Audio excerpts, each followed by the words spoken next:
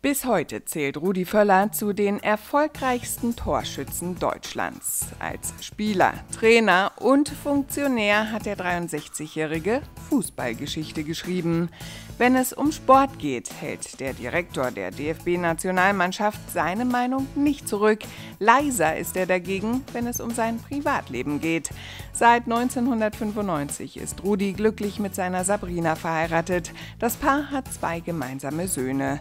Völler brachte zudem zwei Kinder aus einer früheren Beziehung mit in die Ehe. Sabrina hatte vorher schon eine Tochter. In der Öffentlichkeit hält sich das Paar normalerweise zurück. Gemeinsame Auftritte sind selten. Umso überraschender, dass Sabrina ihren Rudi zum Präsidentencup der Eagles nach Griechenland begleitet.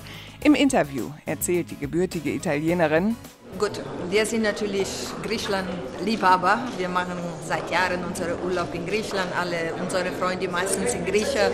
Ich bin Italienerin, also sehr nah an die griechische Kultur auch noch. Also wunderbar. Ich fühle mich zu Hause.